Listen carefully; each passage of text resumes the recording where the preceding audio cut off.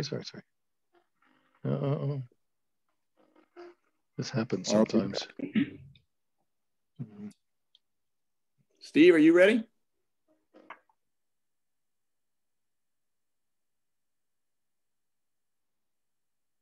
Uh, I think you're muted, Steve. Yeah. This is the culprit here. Okay. I heard you a little bit, so. Yeah. Well, the, the, the, this music is the music that I would play before I would teach. So I had this sort of standard loop that I would play in preparation for my online classes. So I always had five minutes of this calming music before I had to confront my, my class. And now these weird, these uh, high-tech uh, headphones I have play the music anyway. No matter what I'm doing, they play this music. so you got a chance to hear some prepare to teach number theory music. Great. All right. Are we ready to go? Okay. All right. Then um, our, whoops, our speaker now is Dick Gross. He is equally retired from UCSD and Harvard, and he will speak to us on the Fricke-Macbeath curve and triple product L functions. Go ahead, Dick. Thanks very much, Jim. And also, thanks for the invitation. So, uh, Steve and I have known each other a long time, uh, maybe the longest of anyone here. We were in the same undergraduate class at Harvard. Uh, here's a picture of Steve taken freshman year, as far as I can tell. And uh, uh, to give you an idea how long ago we were students at Harvard, uh, we took algebra from Richard Brauer. It was a fantastic class. And uh, then after getting out, Steve went right on to graduate school. I meandered around a little bit, but uh, we met each other again at this, uh, whoops, see now it's not working. Uh-oh. I'm not able to advance my slide. Let's try again. Okay, the, your find is on also for some. There we go. My what is on? Find. Find? Ugh. I'm going to go out of this full screen mode and just do it the way I know how to do it. It's too it's too annoying. I'll be right back, everybody. I'll be right back. Here we are. Let's share a screen. Uh -huh. Now I don't even see share screen. Sorry. Oh, here it is. Share screen. Here we go. Try that. And I'm back where I was. Yep. I don't seem to be able to advance it, guys. I got to do this all over again. Sorry, very much sorry. Maybe I have to close the find. Is it find? Where is find? Oh, it's gone now. In the upper right corner of your screen, it was opening as if you're looking for find text, and it might be looking for you to advance over there instead of a slide. Yeah, over there, slightly more to the right. Yeah, it's. Anyway, but we got can. All right, hold on. We can see your screen now. All right, Oh. we both participated in the uh, summer school on automorphic functions at Corvallis, this great summer school that uh, introduced all of us to the Langlands ideas. And uh, I'm sorry, guys, I just can't advance this. Yeah, back. Went Oh. backwards. Yeah, but it doesn't go forward. Doesn't go forward. And my wife is going to help me. I apologize for all the technical difficulties. Oh, here we go. No. I think I can do it now. So Steve actually attended the lectures. That was the difference. I didn't see much of him up at the conference because I just gave up. And we want, wrote only one joint paper together on heights and uh, critical values of the triple product L function. And um, this paper wasn't that much. Uh, we just made a little bit more precise uh, theorem that Steve had proved with Michael Harris a year before, which I'll mention later in the talk. But it wasn't, I think, a, a useful paper for Steve because in the last section of the paper, I pressed him on what would happen to the uh, first derivative when the sign of the functional equation was minus one. And so we had to look at how we got the L function, and it was through this miraculous, uh, miraculous integral representation that had been found by Paul Garrett. And the integral representation involved critically a, a Siegel-Eisenstein series of genus three, and in our case, weight two.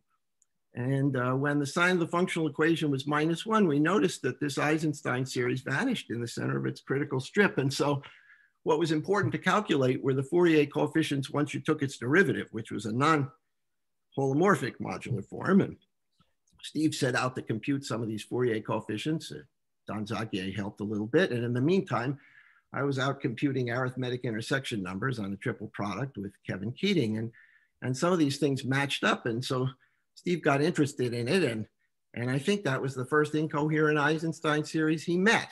And he developed it into this magnificent program, which has been central focus of number theory in the last 25 years. And uh, for me, though, it was a little disappointing because before I wrote this paper, I thought of Steve as a, an absolute paragon of virtue in every way, but I discovered he had a fatal flaw and uh, that fatal flaw meant that we could no longer uh, collaborate uh, in the future.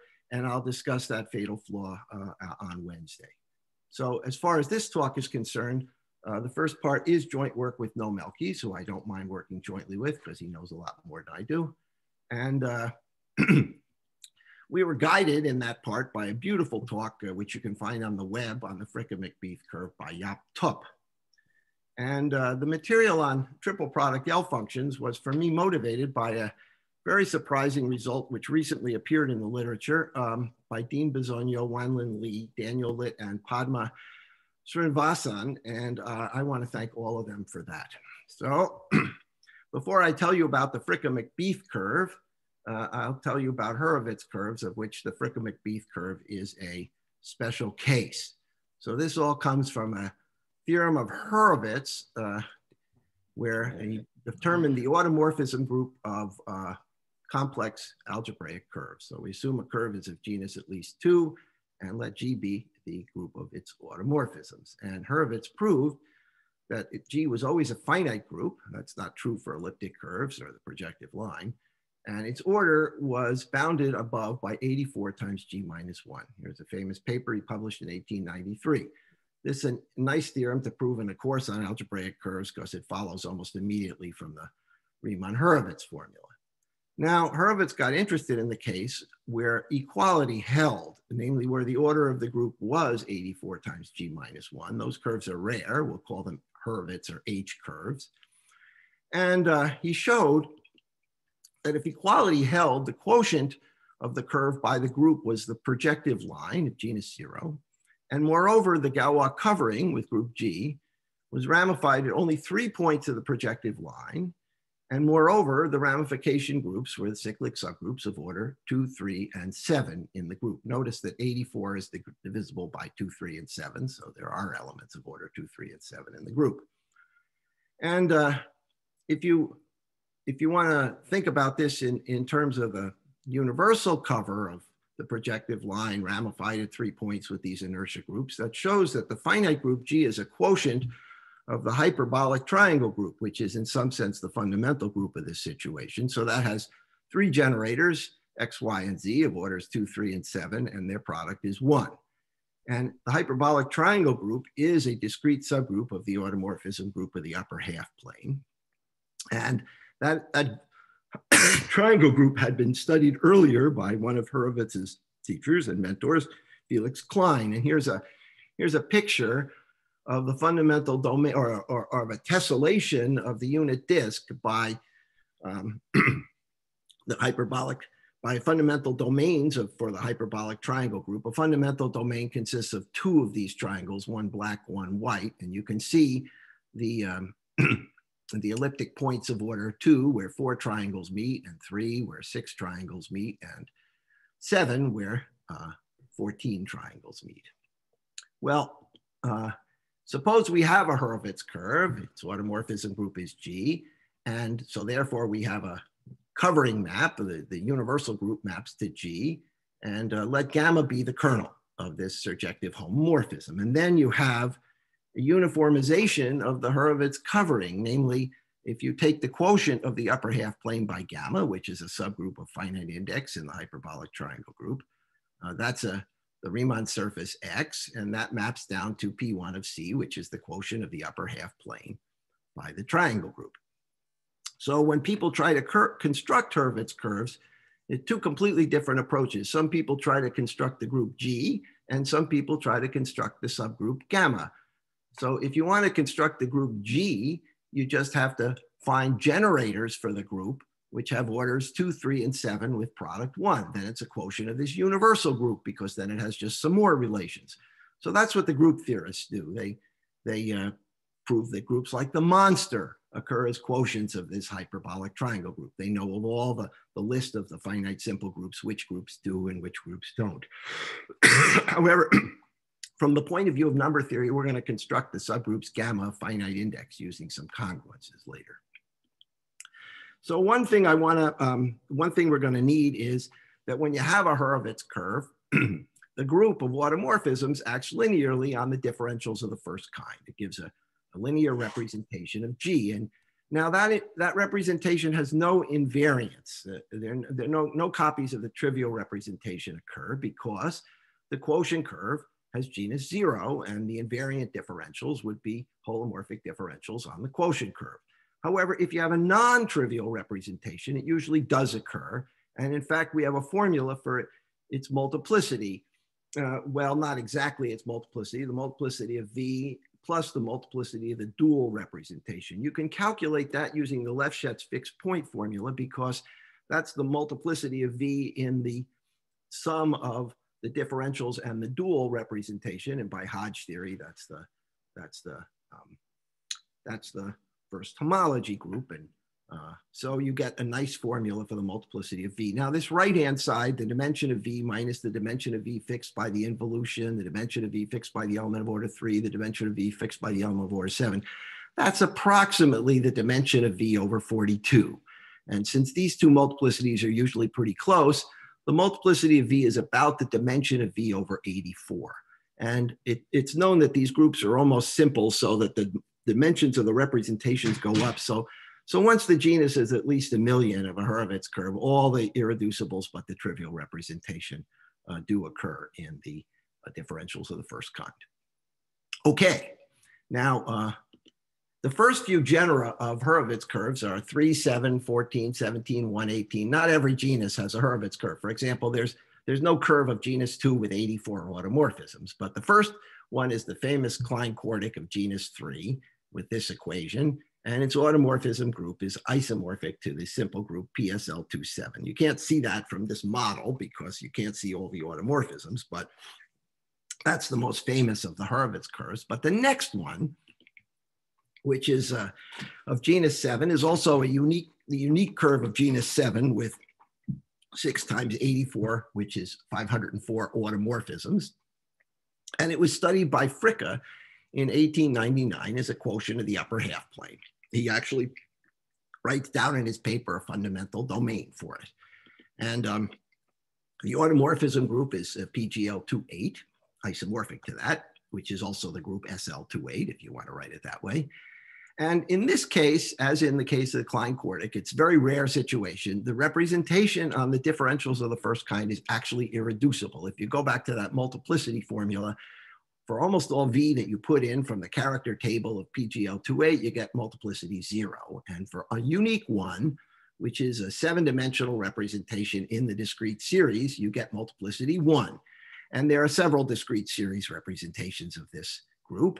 And uh, you, one knows that discrete series of PGL2 are indexed by pairs of characters of the non-split torus. Now the non-split torus in this case is a cyclic group of order nine. And this discrete series that occurs, and that's going to be important to us, are associated to the two cubic characters. They're inverses of each other of that non-split torus. It has another way of characterizing it is it's the unique discrete series that has a rational character. Okay, now why is it called the Fricke-Macbeath curve if it was discovered by Fricke? Because Macbeath uh, found an algebraic model for it in 1965. He wrote down equations for it, in fact, equations for its canonical model in P6. and I'm not going to do that whole theory, but I'll show you how you can get some interesting information about the curve just from the knowledge of its the representation of the group on the differentials of the first kind. Because if you restrict the representation of PGL28 to a Borel subgroup, uh, it's an irreducible representation. In fact, it's the unique irreducible representation of higher dimension of the Borel subgroup. The Borel subgroup, the unipotent group, is an elementary abelian group of order eight. That's the additive group of the field of eight elements. And then uh, the torus is the multiplicative group of the field of eight elements, which is cyclic of order seven. And one knows that discrete series restrict irreducibly to the Borel. And the unique irreducible representation of the Borel of dimension bigger than one is one where the unipotent subgroup acts via the seven non-trivial characters, uh, which are quadratic characters because it's an elementary abelian two group. And um, these seven different eigenspaces for the unipotent subgroup are permuted transitively by the cyclic torus of order seven. So just knowing the which the irreducible representation is of the uh, full group gives you a very nice restriction to the Borel. Now, if you think about that a little bit, if you let u chi be the kernel of one of these quadratic characters, then the quotient by that Klein four group is an elliptic curve because there's a unique invariant for u chi on this seven dimensional representation. The other, uh, it acts non-trivially on the other six eigenspaces. And so you get seven different quotients of the Fricke-Macbeath curve, which are elliptic curves. But since these, uh, these characters are permuted transitively by the torus, these seven elliptic curves are all isomorphic. And a little bit more analysis, which I'm not going to do here, shows that the J invariance of this elliptic curve, which determines its isomorphism over the complex numbers, is 1792. And Finally, and this is actually quite important for us, the Jacobian of the Fricke-Macbeath curve is isogenous to the product of this elliptic curve seven times. And that's because if you take these seven different quotients and you pull back the invariant differential on E of chi to the Fricke-Macbeath curve, you get seven differentials which span the different eigencomponents for the unipotent subgroup. So they give a basis of the differentials of the first kind on the Fricke-Macbeath curve. And they're all elliptic differentials, so I have only two periods. And that gives the isogeny from the Jacobian to the product of E seven times. Now, the rest is not, the, the rest of this analysis is not really relevant for my talk, but you'll see why I'm gonna do it. Since E doesn't have complex multiplication, 1792 is not the J invariant of something with complex multiplication. And the Jacobian is seven copies of this elliptic curve. If you take the group of homomorphisms from the Jacobian to this elliptic curve, that's a free abelian group of rank seven, right? You have uh, projections to the different factors give you the basis. Okay. Now, on the other hand, this group of homomorphisms can be identified with what we call the Mordell-Weil lattice. Namely, it's the same as the morphisms from the curve x to e, the coverings of x to e, up to translation by e. The reason for that is if you have a homomorphism from the Jacobian, you can restrict it to the curve embedded in the Jacobian. That's unique up to translation by e. And that gives a morphism from x to e. And conversely, if you had a morphism from the curve to e, then uh, E is an abelian variety. And so a morphism from a curve to an abelian variety factors through its Jacobian.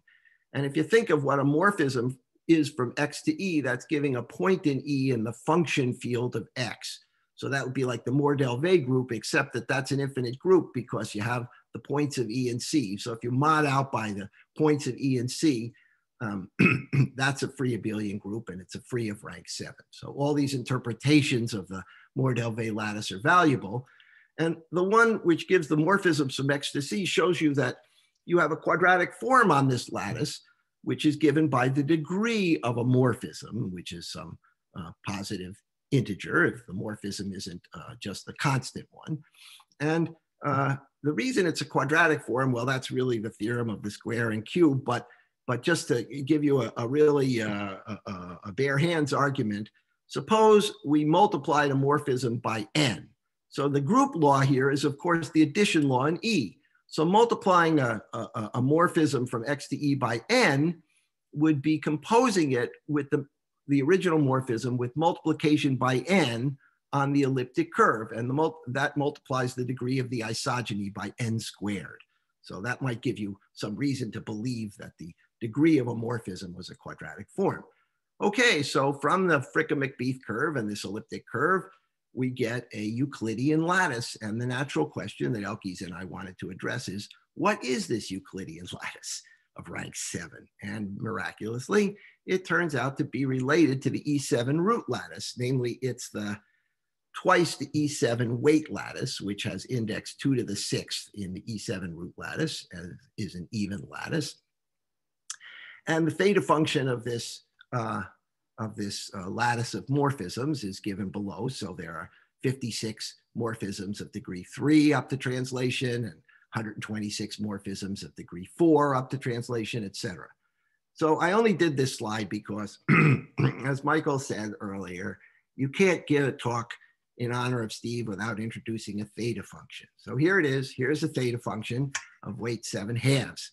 And uh, Steve, you'll be happy to hear that um, not only is this a theta function, but because this weight lattice is, um, its class is unique in its genus, this is also an Eisenstein series by the Siegel-Weil formula.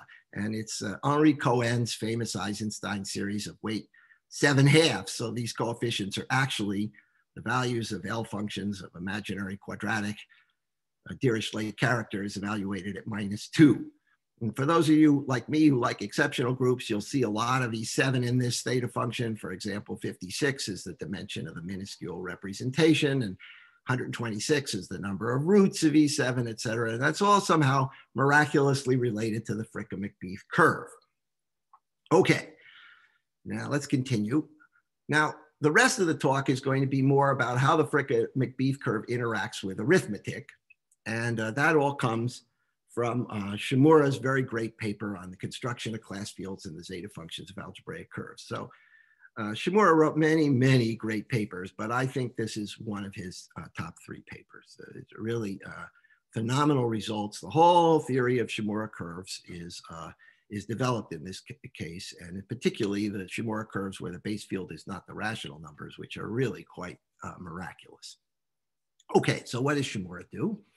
First of all, he introduces, whoops, did I just lose it again? Could be. Mm -hmm. This is great.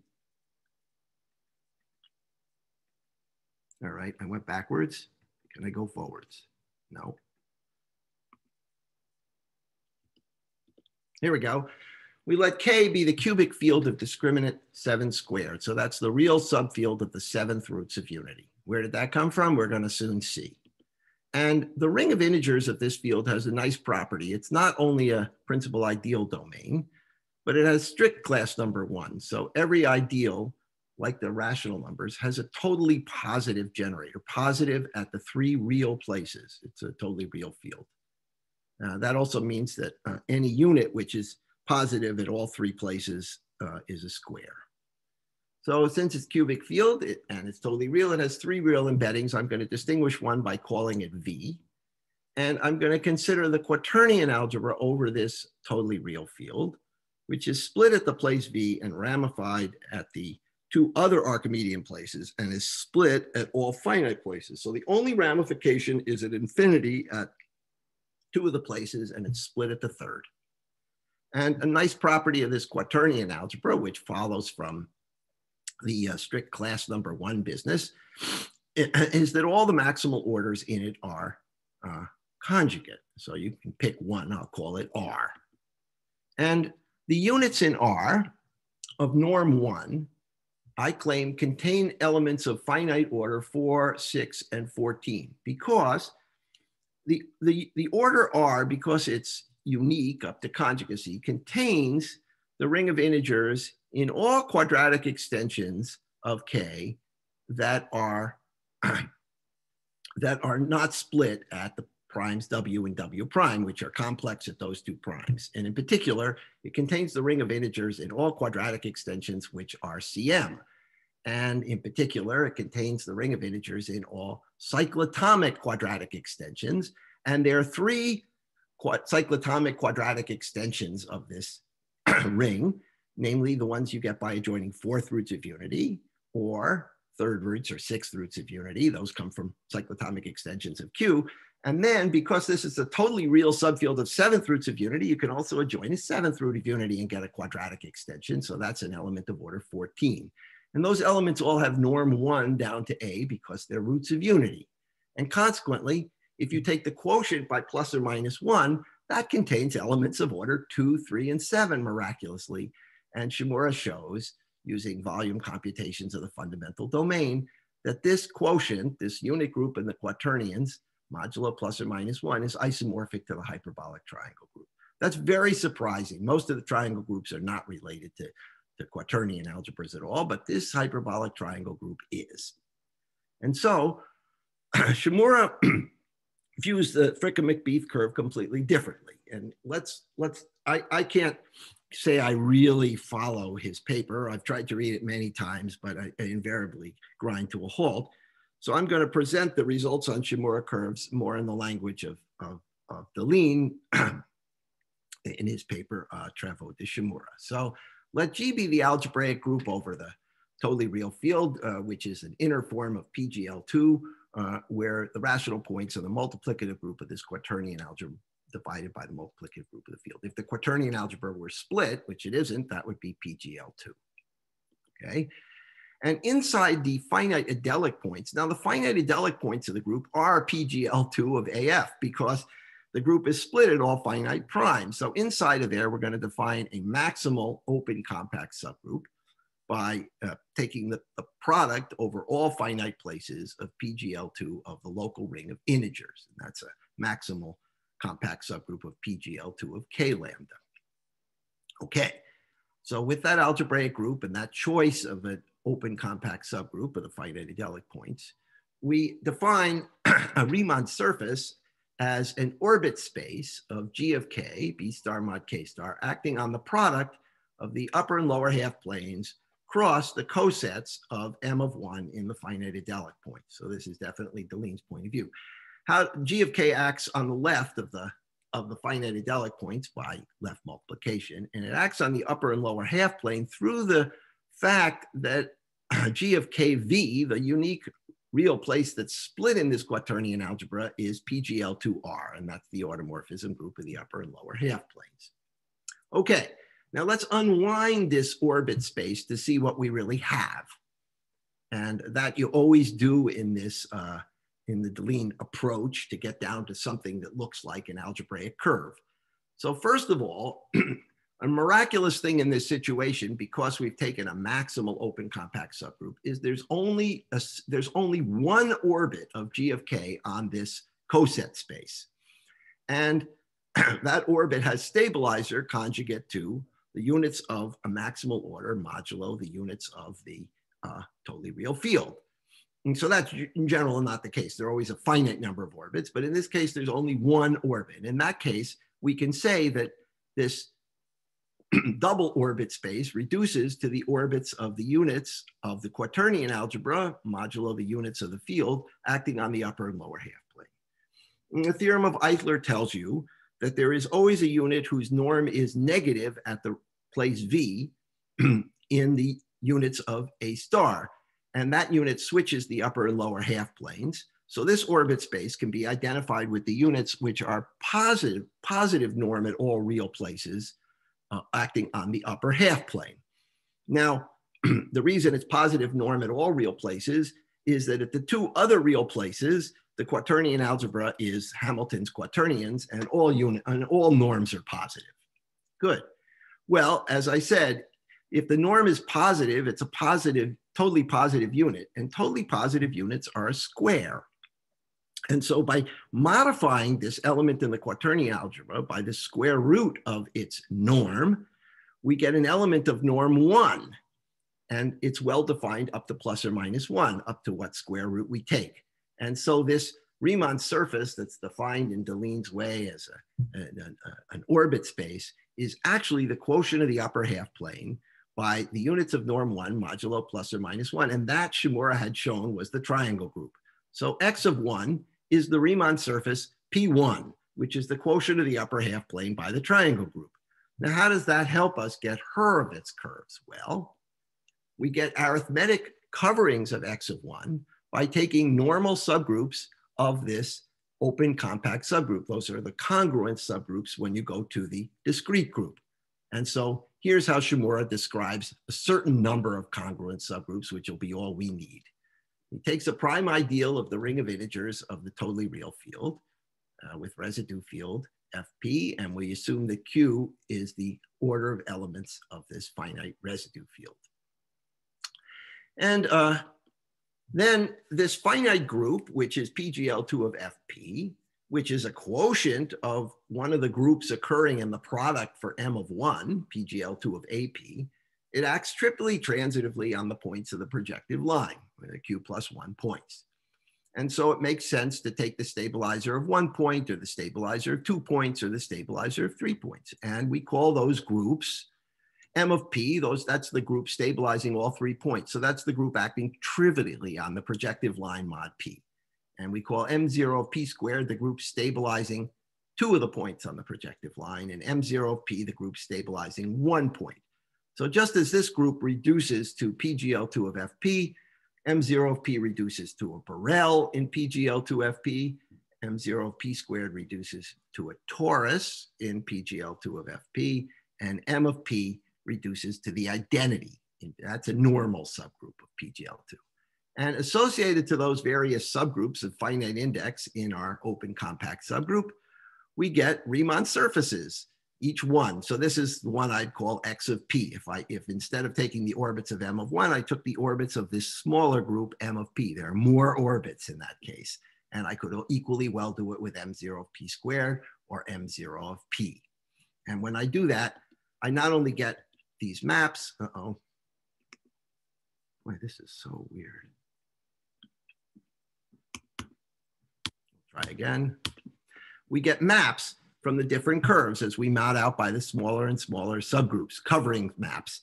And these are uh, curves that map to our projective line, and even x of p is a Galois covering mapping to our projective line. Okay, now Shimura proves, and this is the big theorem in his paper, that all of these curves are not just complex Riemann surfaces, but they have canonical models over the cubic field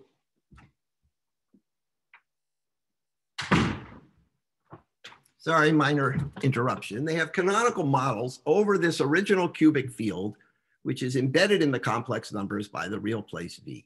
So that's his big theorem. And this is extremely difficult to prove because these curves, unlike Shimura curves over the rational numbers, do not represent a simple moduli problem. Uh, and he only is able to get the field of definition to be K after a huge amount of work. And the curves original curve, which was P1, and these curves x0 of P and x0 of P squared are geometrically connected. In Deligne's theory, a curve doesn't have to be connected at all. That's why he gets a small field of definition of K. But the curve x of P is a Galois extension of x of 1, where the group is PGL2 of Q because you've modded out by a normal subgroup. And it turns out to be geometrically connected only in the case where the prime is the unique prime dividing 2. 2 is inert in this field K. But when the prime is odd residue characteristic, it has two components over the complex numbers. And the components are rational over a quadratic extension of, of little k, uh, which is the unique quadratic extension of discriminant p. And they give Galois coverings, but the group is not PGL2 of FP, but actually PSL2 of FP and their H curves. And Shimura goes on to discuss these H curves in his paper, and they're new examples at the time he wrote the paper. So, for example, the ones of genus 3, 7, 14, and 118 correspond to prime ideals where the norm of P is 7, 8, 13, and 27. So that 7 is the unique ramified prime in K, and 8 is the norm of the unique prime dividing 2. And there are three ideals of norm 13 because 13 splits in this uh, totally real field. and Shimura shows that those three Hurwitz curves, which have genus 14, are non-isomorphic. And those at the time he wrote the paper were new Hurwitz curves. Okay. Now, we're going to focus on the case where P is the prime dividing 2. And the Shimura curve x of 2 uh, the full Shimura curve, gives a canonical descent of the Fricke-Macbeath curve together with all of its automorphisms to this totally real field. People had written down models of the Fricke-Macbeath curve even over the rationals, but the automorphisms are not defined there. If you want the curve as a Hurwitz curve, the minimal field of definition is this totally real field. Fricke, uh, excuse me, Macbeath defines it over seventh roots of unity. It's a little harder to get it down to the totally real subfield. Okay, and just as we did in the complex case, we can, once we have the automorphisms, we can take quotient curves by those automorphisms, which are defined over K. And when you divide out by the Klein four groups, as we did in the complex case, you get curves of genus one, which Elkies and I show are actually elliptic curves, namely they have rational points. And it's an elliptic curve whose conductor is two squared, the ideal two squared, over K. And um, we don't really need equations for this, but if you, for example, if you want to identify it and you have your, your L functions and modular forms database handy, it's uh, the elliptic curve they call 64.1-A7. 64 is 2 to the 6th, which is the norm of the conductor. Uh, but it turns out to descend uniquely to the rational numbers. So uh, if you wanted to have an equation over the rational numbers, it's given by this equation. And notice that it has bad reduction in the rational case at the prime 2 and 7, but 7 ramifies in the cubic extension. And when you get to the cubic extension, it has good reduction at the prime 7 and bad reduction only at the prime 2. Okay, and just as we did in the complex case, the Jacobian of the Fricke-Macbeath curve over the totally real field is isogenous to the seventh power of this elliptic curve. Again, you decompose the differentials of the first kind by pulling back the elliptic differentials from these quotient to give the eigenspaces. Great. Okay. Now, with that geometric information about the Fricke-Macbeath curve over the totally real field, let's go back to the theory of automorphic forms and take an arbitrary prime in this totally real field and recall these covering curves, x of p, x0 of p squared, x0 of p, and x of 1. And this notation is meant to suggest the notation we use for these curves over the rationals. Now, one consequence of Shimura's theory, uh, producing these curves uh, using uh, arithmetic groups, is that a holomorphic differential, which is on x0 of p or x0 of p squared, which turns out to be an eigenvector for all the Hecke correspondences. And by the way, the Hecke correspondences at unramified primes are also all defined over the totally real field in Shimura's case. Well, if you have an eigenvector for all of the correspondences, that corresponds to a new vector in an automorphic representation of the adelic points of this group B star mod K star. if the if the eigenvector occurs on the curve x0 of p, then that's a automorphic representation of conductor p. And if it occurs on the curve x0 of p squared, but not on x0 of p, that's an automorphic representation of conductor p squared. And the representation, at least at infinity, we know at, at the split prime, where the group is PGL2R, the local representation is the holomorphic discrete series of weight two. And at the two ramified primes, where the um, group is compact, it's the trivial representation. Now, by a result of Jacquet-Langlands, when you have an automorphic form for one of these quaternion algebras, you can lift it to a, an automorphic representation of the split group, which in this case is PGL2. It has conductor P or P squared. And in this case, because uh, the trivial representation of the compact group corresponds to the discrete series of weight two. It's now in the discrete series of weight two at all three real places. So this in classical language would just be a Hilbert modular form of weight 222 and conductor P or P squared. Anytime you find an, in, uh, a differential on these curves, which is an eigenfunction for the Hecke operators. Now, it's this this representation is unramified at all primes other than p because its conductor is p or p squared and at p you want to try to find the local representation you can't say a priori what it is but if you know something about the um, subspace of the differentials on x of p that's spanned by the g translates of your invariant differential here that gives you some information on the local representation of PGL2 of KP that occurs in this uh, automorphic representation. So I'll do an example for you. Let's uh, take our favorite case where the prime is 2. Then it turns out mm, that the curve x0 of 2 has genus 0. Uh, so there are no uh, eigendifferentials there. And x0 4 has genus 1. So any non-zero differential is an eigenvector for the Hecke operators. The former turns out to be the projective line. This curve of genus zero has a point on it. And the latter turns out to be the unique homogeneous space for this elliptic curve we've discussed, uh, which is non-trivial at the three real places and trivial elsewhere. You know, you can tell that the, um, that the uh, local uh, triviality and non-triviality of the homogeneous space determines it because the Tate-Shafarevich group of this elliptic curve is trivial. And it turns out the Birch-Swinnerton-Dyer conjecture is true too. Uh, okay, so we have on x0 of four a, uh, an eigendifferential. And so that gives us a unique cuspidal automorphic representation of the split group with the following local behavior. First of all, as I said, at each real place, the representation is in the discrete series of weight two. Now, what about at this bad place? Okay, well, I claim, well, first the representation as conductor p squared because it comes from the curve x0 of 2 squared and, and not x0 of 2. And it's in the discrete, I claim the representation is a depth zero discrete series. And it's compactly induced from our favorite representation of dimension seven, the one that occurs on the differentials of the Fricke-Macbeath curve, because that's the only representation that occurs on the differentials of the Fricke-Macbeath curve. And remember that that's associated to the two cubic characters of the non-split torus. By the way, as I say, the non-split torus has dimension, has order nine in this case. And if you restrict the discrete series representation to this uh, non-split torus, you get the seven characters which are not equal to chi3 and chi3 inverse. It's amusing that the two characters that are used to define the discrete series are exactly the ones that don't appear in the restriction to the non-split torus. And finally, at all other places, it's an unramified representation because the only prime which is bad for the Fricke-Macbeath curve is the prime two.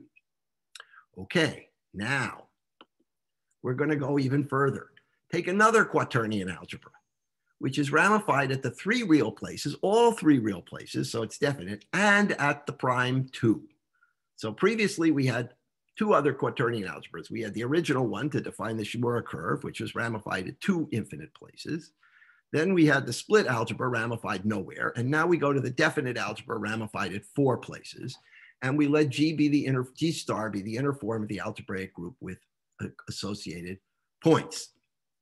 Well, then again, the theory of Jacquet-Langlands applies because for the representations of the split group, at these four places, the local representation is in the discrete series. So we get a unique automorphic representation of this, of this non-split form of PGL2, which is now the trivial representation at all real places, and the two-dimensional representation of the compact group at the place two, which factors through a dihedral quotient of order six and whose restriction to the cyclic subgroup is the direct sum of the two cubic characters chi3 and chi3 inverse. Why is that? Well, first of all, it has conductor p squared.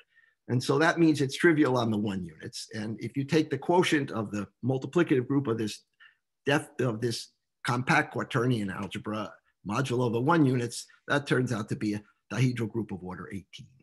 And the reason you factors through the dihedral group of order six is that it's a famous theorem that the correspondence of these two representations, one of the split group, one of the non-split group, the trace on, on uh, any torus that embeds in both of them, say the non-split unramified torus, is zero, namely it's the regular representation of the torus.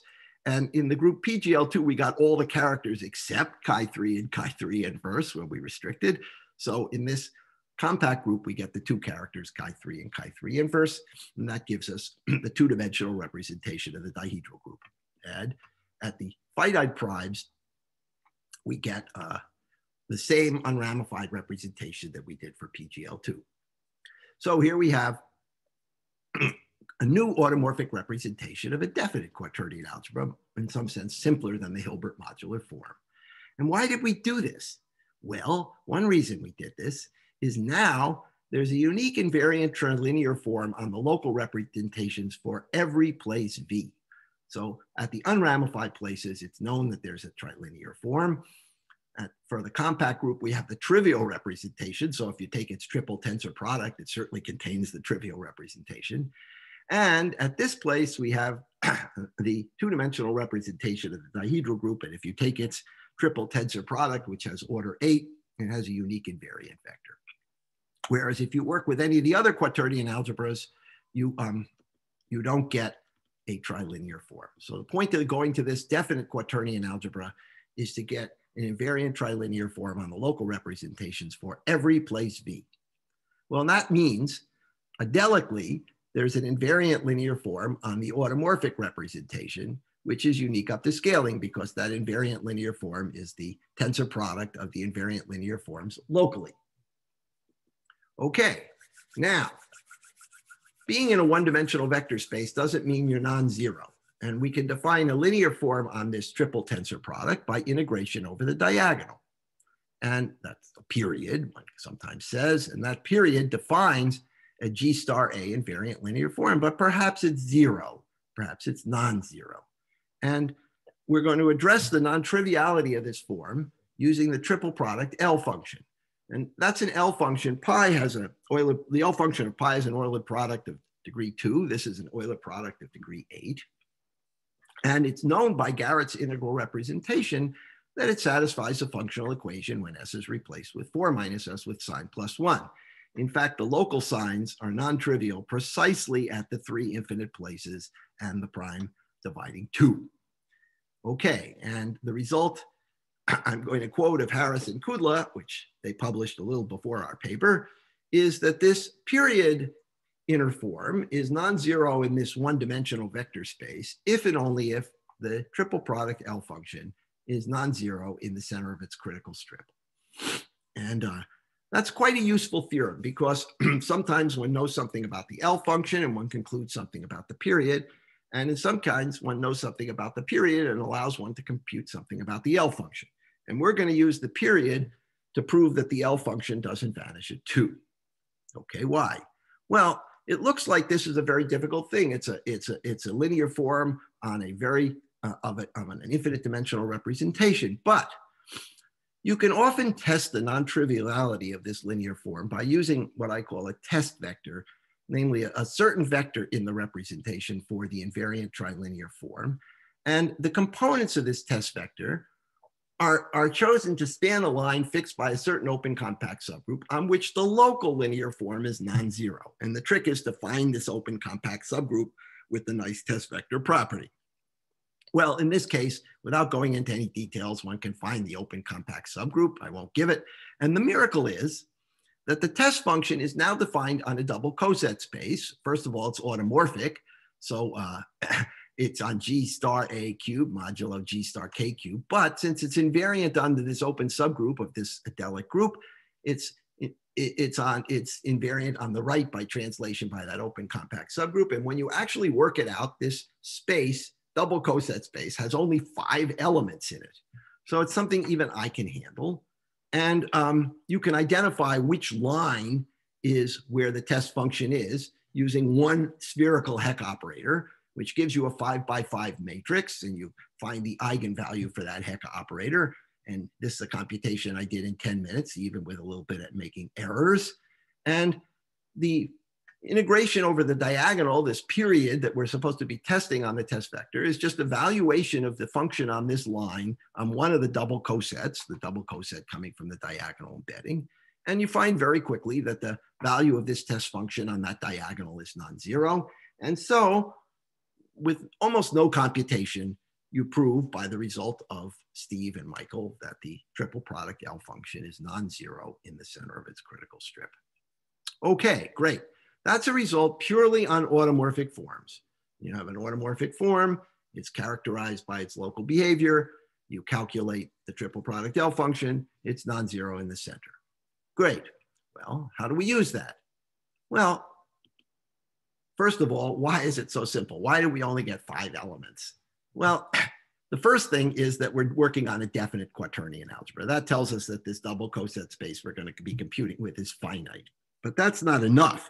The miracle is that up to conjugacy, this definite quaternion algebra also contains a unique maximal order, which has class number one. There are only a finite number of definite quaternion algebras with this property, and this is one of them. And what is the maximal order? Once you realize it's unique, well, it's the famous Hurwitz order extended to the ring A. So Hurwitz wrote down a, a maximal order in Hamilton's quaternions, where the equations are i squared, j squared, k squared, and i, j, k are minus one, uh, given by the span of i, j, k, and one plus i plus j plus k over two. That's a, that's a sixth root of unity. And if you just extend scalars to A, you get the maximal order in this definite quaternion algebra. Nothing could be nicer than that. I was a little puzzled by this because I was, where's the element of order seven? But of course, there is no element of order seven in the maximal order because the primes seven, uh, yeah, the prime, uh, the prime two is is not is not uh, the prime two splits in the quadratic extension given by seventh roots of unity. And the prime two is ramified in this quaternion algebra. So you can't embed the seventh roots of unity in a maximal order. So you get fourth roots of unity and sixth roots of unity, but not seventh roots of unity. Great. All right. Now let's go back to geometry.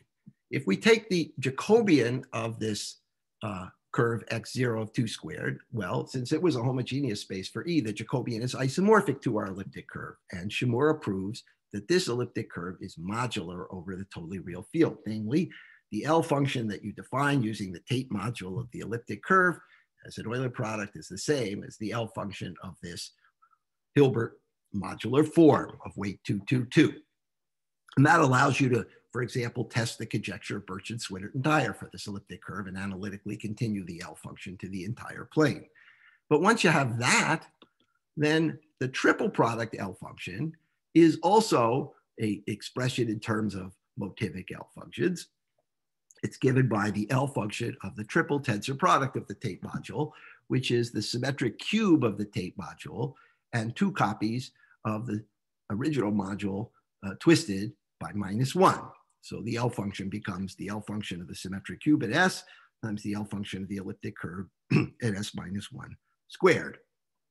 And the fact that the triple product L function doesn't vanish at S equal two means that the symmetric cube L function doesn't vanish at S equal two, and the original L function of the elliptic curve doesn't vanish at S equal one. So as I said, by Birch and, Swinnerton, and Dyer, that would predict that the rank of this elliptic curve over the totally real field is zero. And in fact, that's the case. The uh, torsion subgroup is Z mod 2 squared cross Z mod 3. The Tate-Shafarevich group is trivial, and uh, you can prove the conjecture of Birch and, Swinnerton, and Dyer. Good. Now, uh, the Jacobian of the Fricke-Macbeath curve we saw was isogenous to the sevenfold product of the elliptic curve. And that gives an identity of the motives of rank 14, namely the first cohomology of the Fricke-Macbeath curve is just seven copies of the two-dimensional representation coming from the first cohomology of E. Okay, so that allows us um, to study the triple product of the Fricke-Macbeath curve. So if we let Y be the triple product, I claim that uh, the, the third cohomology of Y, the middle cohomology of this triple product, is 343 copies, the symmetric cube of H1 of E, plus 707 copies of the original Tate module twisted. And the reason is that once you have the cohomology of uh, X, you can compute the cohomology of Y using the Künneth formula, and these are the only representations that intervene. Ugh. Now I have another thing frozen. See if I can unfreeze. Okay, let's try again. Good. Now, That's nice because Beilinson and Bloch have suggested that the Chow group of codimension two cycles, homologous to zero on any threefold, should be finitely generated if it, the threefold is defined over a number field. And it should have rank equal to the order of vanishing the L function of the third cohomology group of Y at the point S equal two. Now, I don't know if one takes this too seriously. You could even go all the way back and attribute it to Swinnerton Dyer, but there's really no evidence for this at all. It's just a hope. Uh, Spencer Bloch likes to call it a recurring fantasy. In any case, in this case, we can actually calculate the L function. The L function is 343 times the L function of the symmetric cube of E and 707 copies of the L function of E. So miraculously for this threefold, the threefold product of the Fricke-Macbeath curve, the order vanishing at S equal to is zero because these two L functions by the triple product L function don't vanish at the points S equal to. Well, that's good. Well, that leads to the following expectation. So if we take this totally real field and let X be the Fricke-Macbeath curve, then any codimension two cycle on its triple product, which is defined over the totally real field and is homologous to zero, should have finite order in the Chow group because in fact, the rank of the Chow group is supposed to be the order of vanishing and the order of vanishing is zero. So if we believe these conjectures of Swinnerton, Dyer, and Beilinson and Bloch, we're led to this expectation that anytime we can construct a cycle which is homologous to zero, that it should have finite order. Great, well, the modified diagonal cycle in the triple product, which is made out of just the diagonal embedding, is defined over the totally real field and is homologous to zero for any choice of E. E is a divisor class of uh, positive degree on X. So here it is. It's something homologous to zero from the expectation we're supposed to prove it's torsion. That's really bizarre. And I was motivated in this by this result, as I say, of Bisogno, Li, Litt, and Srinivasan, who showed that the image of this diagonal cycle under the L-adic Abel-Jacobi map is torsion. Well, that's, that's good evidence, but we don't know enough about the Abel-Jacobi map for higher codimension to conclude that the original cycle is torsion. And they published this, it, it, really jumped out at me because I had come to the expectation based on work I did with Chad Schoen that this thing, this modified diagonal cycle should only be torsion in very rare cases like hyperelliptic curves. And the Fricke-Macbeath curve is not hyperelliptic. And so that led me to investigate this. And at least from the point of view of the triple product L function and these conjectures of Beilinson and Bloch, it's not unreasonable to expect it to be homologous to zero.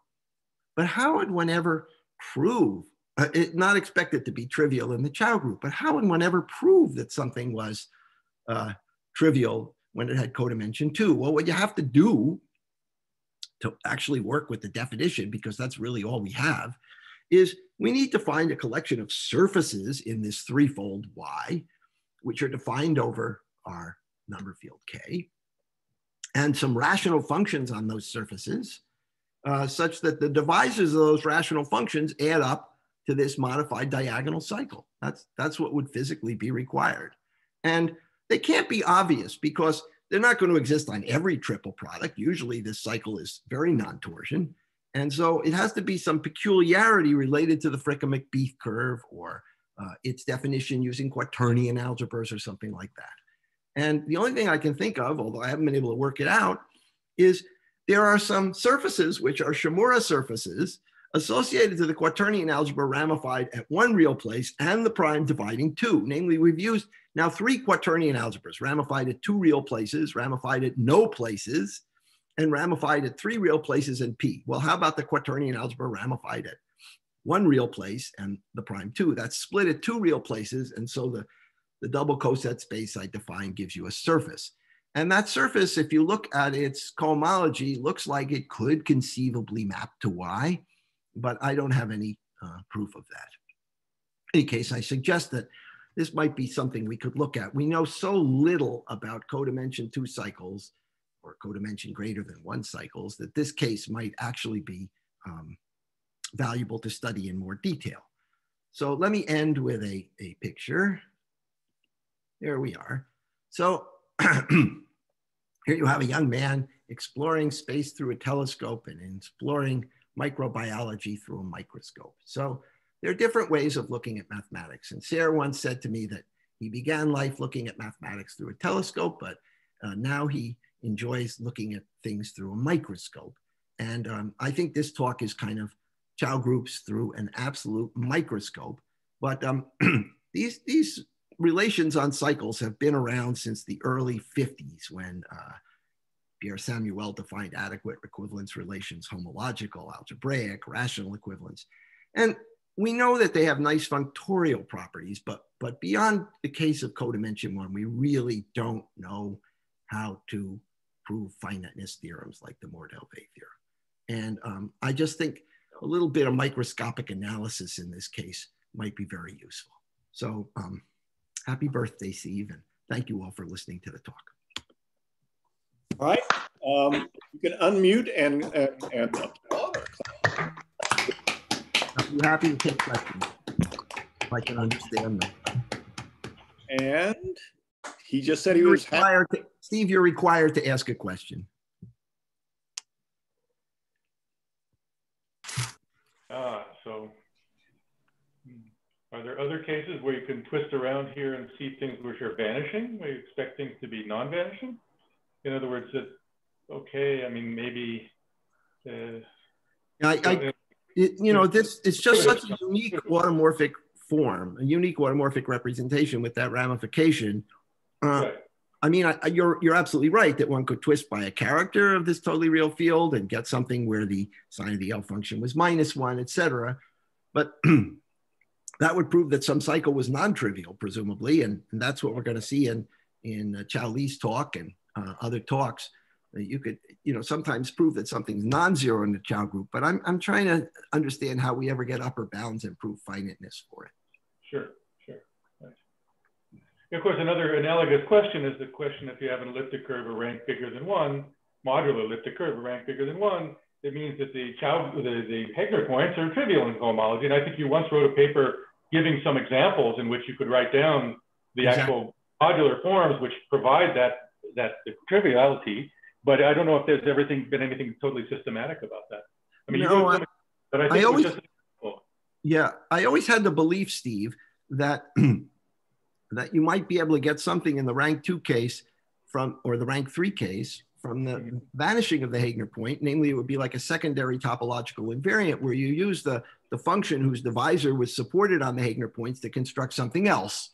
Right. Um, I never got anywhere with that. Henri is made a lot of progress on the on the rank two case, and um, but I, I in that you know the, the the equivalence relation for cycles of codimension one are very explicit. You, you just have to find a function, but but when you get higher codimension, you have to find a subvariety and a function on that. It really becomes quite complicated.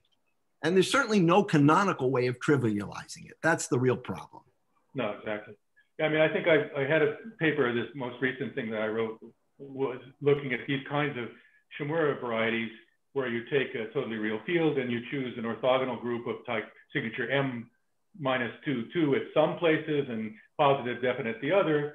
And, and then you look at the cycles that I studied with Millson and those guys there. And what happens is if you, if you look at the codimensions where the number of non-compact places is more than one, then the cycles don't live, the geometrically constructed things which have a natural construction like I did with the old stuff with Millson occur in multiples of the number of non-compact places, right? So if you're non-compact at one place, then you have every every codimension you see cycles, and so you can imagine you could get relations by using those as your subvarieties on which your live. But when you have the number of non-compact places is larger, there is no evident uh, modular, I mean, or say Shimura variety constructed varieties of codimension one more. Got it. Or one less on which you could look for meromorphic functions. And so you can write down the generating series for these kind of uh, uh, cycles of these higher codimensions, but there's no evident reason why these things should be modular.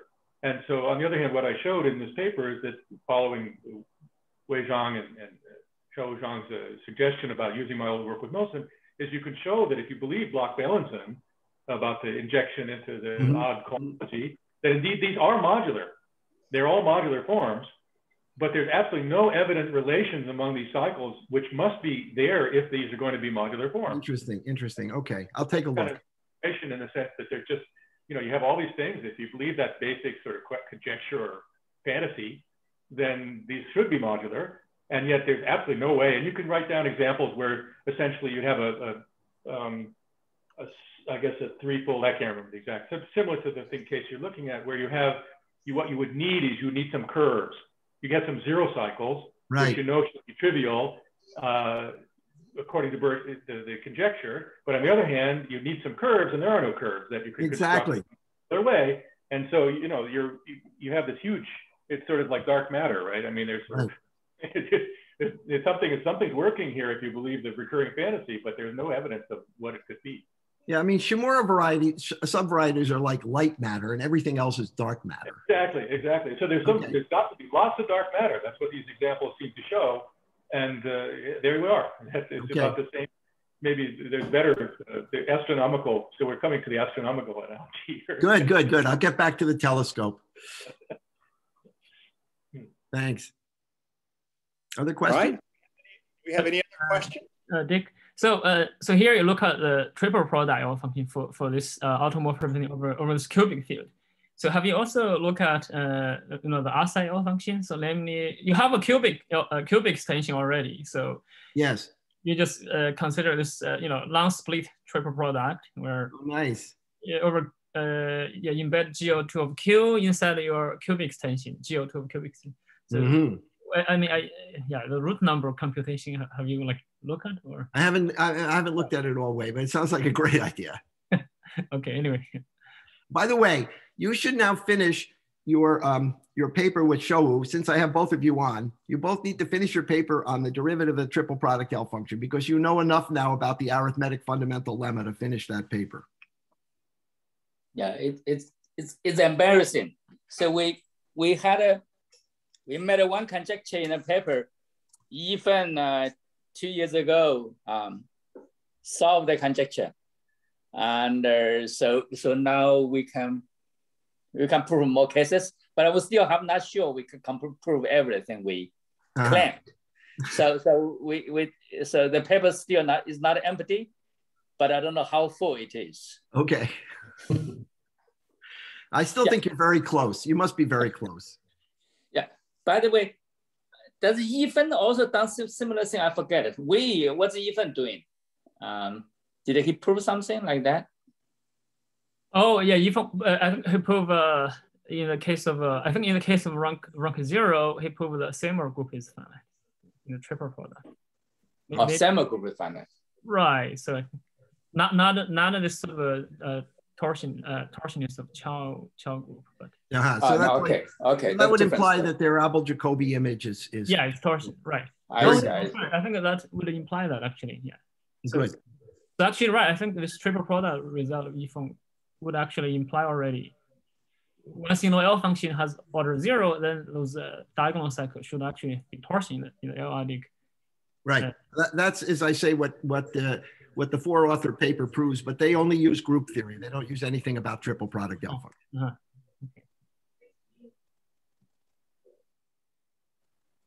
I mean, theoretically, uh, the heights can be computed, right? Using uh, my formula. Yeah, But I we don't know how- But we don't know that the height pairing is non-degenerate.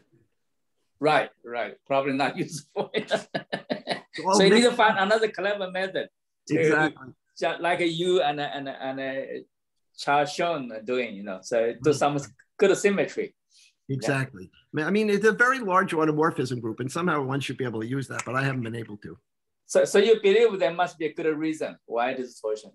I do. I do. I- It's so remarkable for a non-hyperelliptic curve of that genus to have a trivial class. It, it must be some very simple explanation for it. So just out of curiosity, what about the uh, the Klein-Quartic case, the triple product of In Klein-Quartic? that case, the triple product L function has a simple zero, and the diagonal cycle is non-zero. So it just Uh-huh. it just it just happens in that case that that um, you don't that the local representation at the at the prime seven is uh, is it it, it, it, it the split group supports the trilinear form, so you don't you don't get this phenomenon. And the next case, the next genus? Oh, forget it, forget it, forget it. Much worse.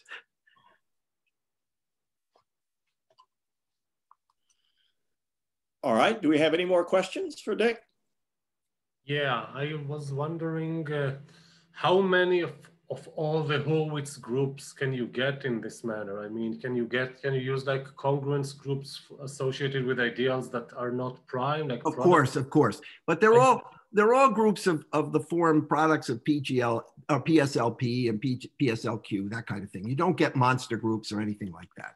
So the arithmetic, the arithmetic Hurwitz curves are very special. Okay, so you, and you, so this means you probably get only a small fraction, like zero percent of all the Hurwitz curves, right? I, I think that's safe to say yes. I mean, I haven't done the counting, but yes. Initially, you get all of them at the small genuses, and then all hell breaks loose. Yeah, as accept, as expected. Yeah, thanks. Sure. Anything else? If not, let's thank Dick again. I'll be back Wednesday, Steve. I'll be back Okay. Wednesday.